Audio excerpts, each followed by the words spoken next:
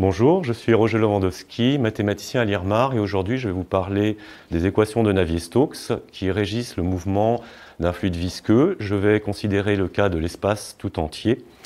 Donc euh, ces équations ont pour inconnu la vitesse que je note u, dont les composantes sont u1, u2, u3,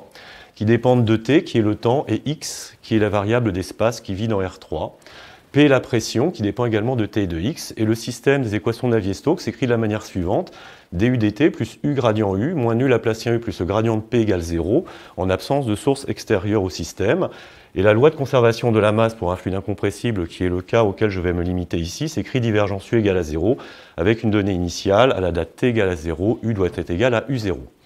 Dans ces équations, le terme U gradient U est le terme non linéaire qui s'écrit de la façon suivante. C'est la somme des UJ des UI sur dxj pour la IM composante de ce vecteur. Et nu est strictement positif et la viscosité cinématique.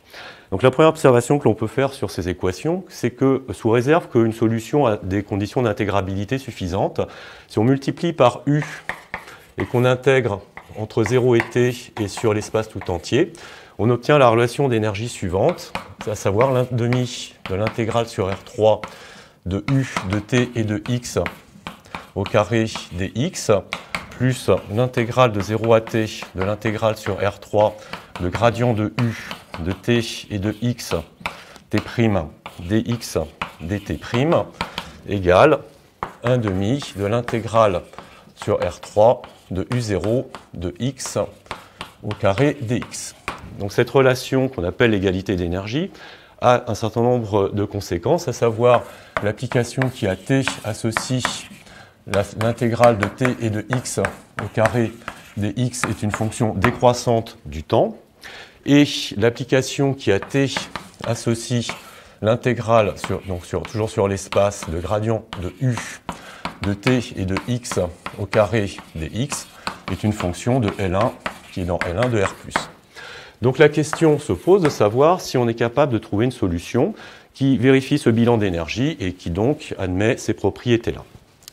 Donc le s'est posé cette question en 1933 et euh, euh, sur la base des travaux de Ozine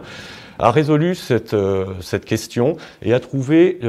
qu'il existait une solution régulière qu'il a mis sous la forme d'un problème de point fixe, à savoir U de t de x est égal. Donc la pression se résout euh, en prenant le Laplacien de cette équation, d'une fois qu'on connaît la vitesse, on peut euh, résoudre par une équation elliptique la pression. Donc il suffit de connaître la vitesse pour résoudre le problème. Donc la solution proposée par le Ray se présente sous la forme suivante. Q est le noyau de la chaleur. Donc on fait la convolution de Q avec la donnée initiale. Et ensuite, on va considérer cette quantité-là, où T est ce qu'on appelle le tenseur d'Ozine, qui a été exhibé par Ozine en 1911, qui a résolu les équations linéarisées de Navier-Stokes et qui a donc pu trouver un noyau, c'est exactement une équation à noyau, comme un noyau de Green. Donc c'est T de T moins T' x moins x', U, tenseur U de T' x', dt' dx'.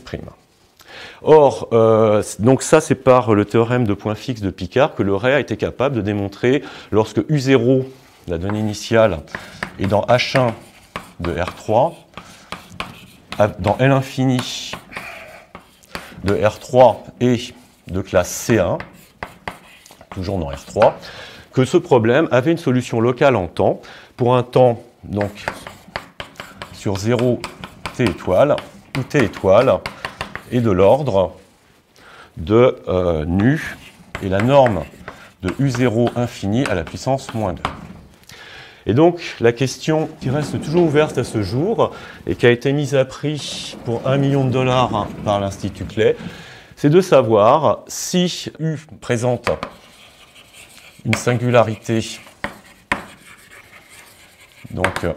en temps fini, à savoir, euh, est-ce que euh, on a le fait que la norme de U de t est point infini tende vers plus l'infini quand t tend vers t étoile?